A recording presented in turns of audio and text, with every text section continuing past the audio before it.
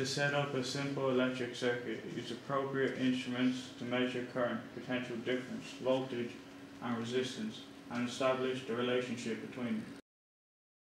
Apparatus, a variable power pack, a digital ammeter to measure current, a voltmeter to measure potential difference, a resistor, in this case a 20 ohm resistor. Turn the dial on the digital ammeter to 10 amps DC.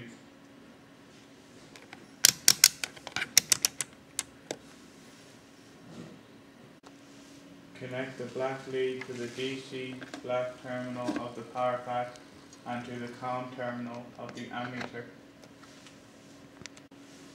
Connect the red lead to the 10 amp terminal of the ammeter and to the resistor.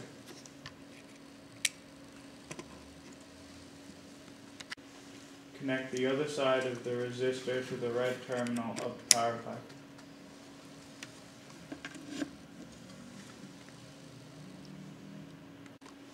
Connect the voltmeter in parallel with the resistor.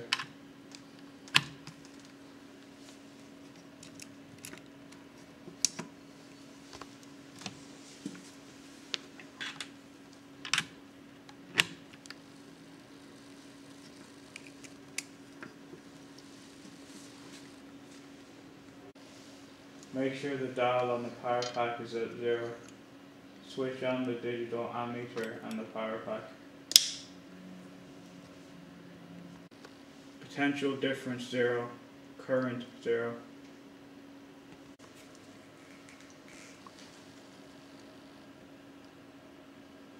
Potential difference one volt, current zero point zero five amperes.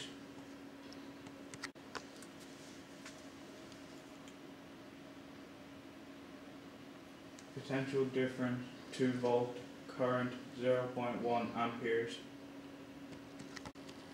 Potential difference three volt, current zero point one five amperes.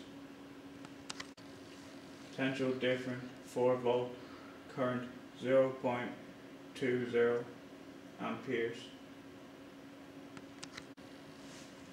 Potential difference five volt, current zero point two five amperes.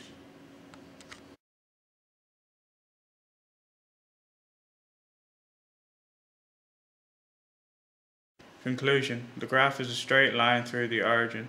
This shows that the potential difference is directly proportional to the current